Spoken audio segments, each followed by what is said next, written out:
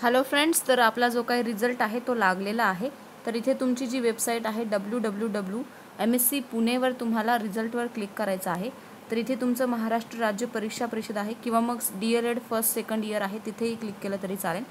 तर इथे गेल्यानंतर तुमचा जो काही इथे तुम्हाला ही डी एल एड पोर्टल म्हणून एक येणार आहे D L Ed exam portal.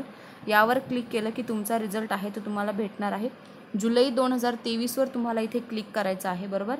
नंतर इथे कॅन्डिडेट सीट नंबर दिलेला आहे तुमचा जो काही नंबर असणार आहे तो तिथे तुम्ही टाकायचा आहे आणि प्रथम वर्षाला असणार की द्वितीय वर्षाला आहे तुम्ही ते तुम्ही टाकायचं आहे आणि तुमचा रिझल्ट जो आहे तो तुम्हाला पी डी एफ फॉर्ममध्ये सेव्ह करून भेटणार आहे. अशा प्रकारे तुमचा जो काय आहे रिझल्ट आहे तो लागलेला आहे.